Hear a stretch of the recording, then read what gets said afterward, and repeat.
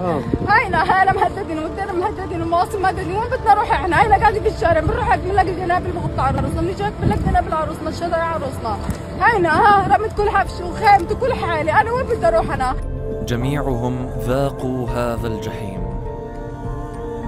نزحوا مرارا وتكرارا تحت لهيب السماء على أقدامهم مشيا. بخطى ثقيلة أجبرت على المضي. قاعدين على بنوك كل يوم كل نقلة ب 1000 شيكل وب 2000 شيكل. من وين بدنا نجيب إحنا؟ خلونا صغارنا يموتوا ابوياتنا يموتوا أمياتنا يموتوا.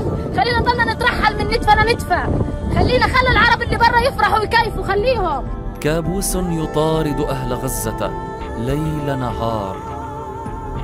وين نروح؟ سؤال لا يملك إجابته أحد في غزة.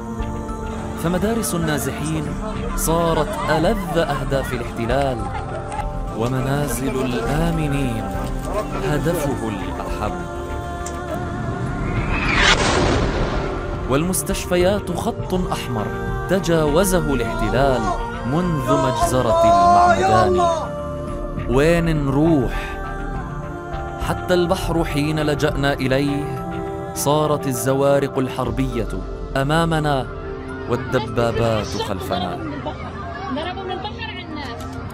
ضربوا من البحر على الناس. وين نروح الناس؟ فمن يمسح دموع أطفالنا الذين أنهكهم النزوح؟